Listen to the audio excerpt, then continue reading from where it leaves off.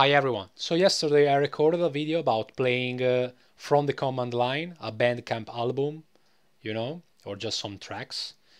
And basically I was using a multimedia player and I was using mPlayer and uh, the ncurses version of VLC and YouTube DL. So basically I was getting the URLs and the titles with YouTube DL and then I was using this output as an input for uh, VLC or mPlayer.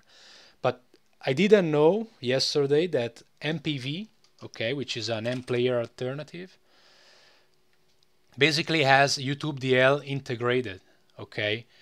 And this makes super easy to just play any content that you normally will download with YouTube DL. In this case, I'm going to show you Bandcamp, but you can do the same for YouTube or just many other websites you know. Youtube dl supports like hundreds of websites. So it's very this is the best way to get uh, bandcamp content for sure.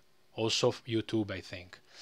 All right so i have here for example two albums you know so just two URLs you can just add as many as you wish and then press enter. But before doing that, I'm going to show you just the default uh, uh, keys, bindings, okay. So man MPV. And what you need here is these two buttons to go back and forward in the playlist. That's it basically. Also maybe something for the to skip, you know, seek forward one minute and seek forward or backward for five seconds. And then maybe something for the volume but basically that's it. And it runs great in the command line but if you have a GUI okay such as my case I'm using uh, i3 as you can see my window manager it looks great because it uh, parse the the album cover whenever it, it finds it. And then you are able also to with your mouse to check the different tracks. I'm going to show you now so let me Okay, so the desktop audio is down. By the way, I'm cutting the audio because uh, there there is copyright in this track. So,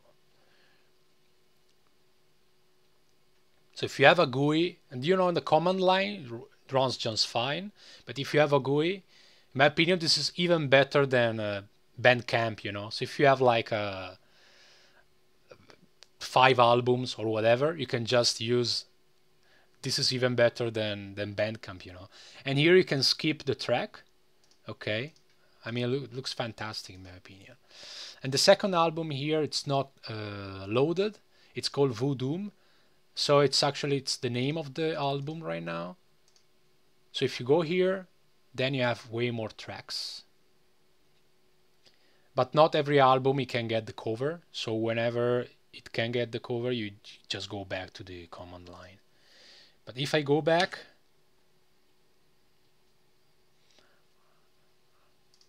right now it shows me that there are 21 tracks. So I have also all the other tracks here. There is no Voodoo here, but all the other tracks. And by the way, the audio is is running, you know.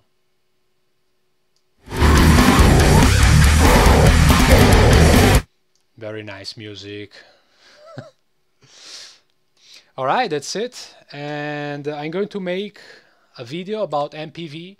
I always had it installed, but actually uh, I pretty much every time I was using a mPlayer.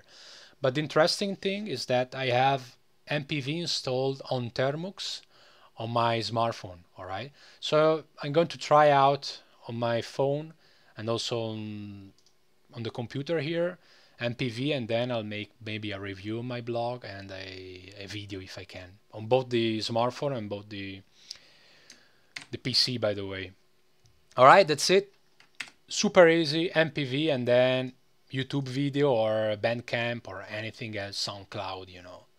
Mega easy try it out if you want.